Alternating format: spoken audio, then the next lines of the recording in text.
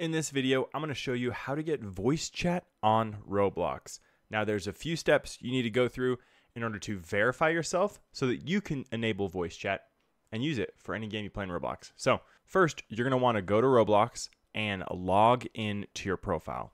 And then once you're logged into your profile, you're going to want to go to the top right and click on these settings gear.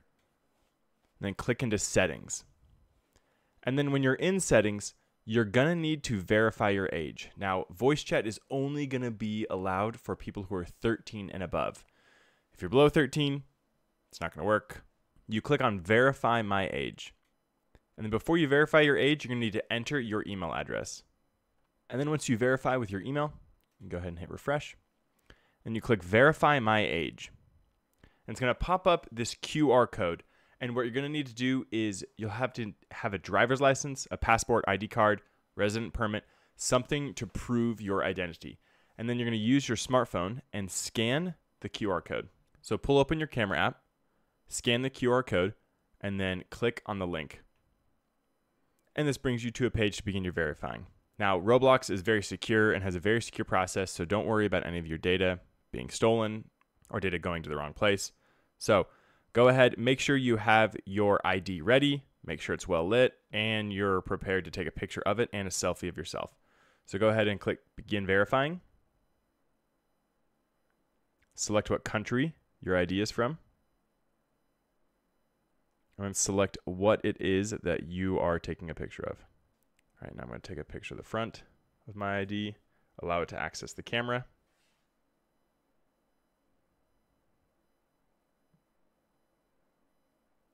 I'm to click use that for the front of the ID, and then I got to take a picture of the back.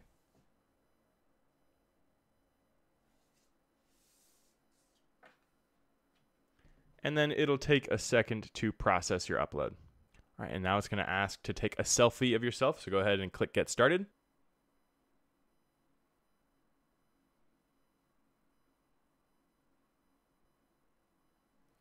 Had you turn your head side to side, just so it can verify based on your ID. And then now my identity is verified. And as you can see on the computer, it is in the process of verifying me. All right, verification is successful. Now I can go ahead and click close. Now it shows my age is verified. And then next, what we're gonna wanna do is go to privacy. And you can see down here, the microphone and camera input, use microphone to chat with voice. So I'm gonna go ahead and select that option and then it shows what the community standards are.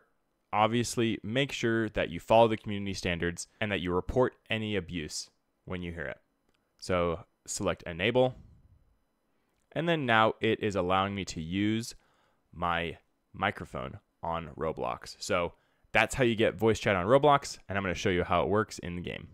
And now that I'm in a game, you can see at the top of my player is this microphone button.